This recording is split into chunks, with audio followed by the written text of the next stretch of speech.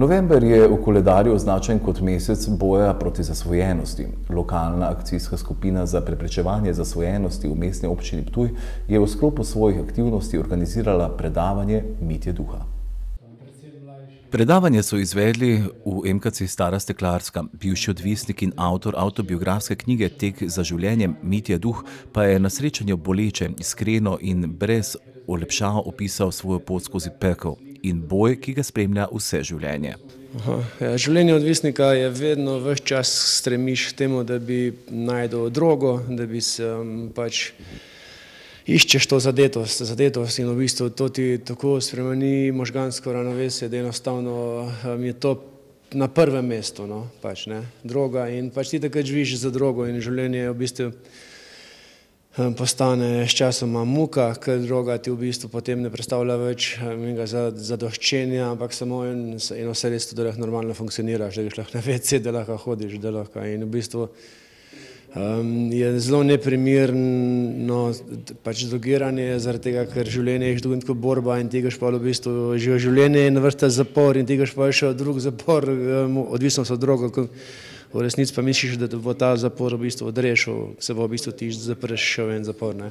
Duhu se je sicer po letih odvisnosti uspelo iztrgati iz primeža drog. Poliko enkrat spet nazaj začutiš to življenje, to radost, to, da se čustva odprejo, mentalno področje, um, v bistvu spet zadihaš in ugotoviš po dolgem času, da je življenje lepo, da se splača živeti in da prenaša veliko radosti in veselja. No. Vodilna institucija v mestni občini Ptuj, ki se ukvarja z odvisnostmi, je lokalna akcijska skupina za preprečevanje zasvojenosti. Mestna občina Ptuj po vzorcih ni nič kaj drugačna od ostalih krajev državi. E, trendi, kar se tiče zasvojenosti, niso nič kaj ekstra drugačni, boljši ali slabši kot drugje po Sloveniji. Zavedamo se, da e, v našem lokalnem okolju eh, te problematike. Zato kot eh, lokalna akcijska skupina eh, tudi prirejamo različne dogodke v ozaveščanje temu, teh temu, kar, kar so pač pasti v našem mestu. Trendi sledijo ponudbi na tržišču. Nove droge tako nagovarjajo vedno mlajše, pojavljajo se že v osnovnih šolah. Rizični so predvsem dogodki, na katerih je lažje priti do določenih vrst drog, zato je razmišljanje bivšega odvisnika Mitja Duha na mestu. Ja, jaz, naj, jaz bi jim svetoval, seveda kot vsak normalen človek, bi rekel, da naj, da naj tega ne poskušajo, da naj se tega izogibajo.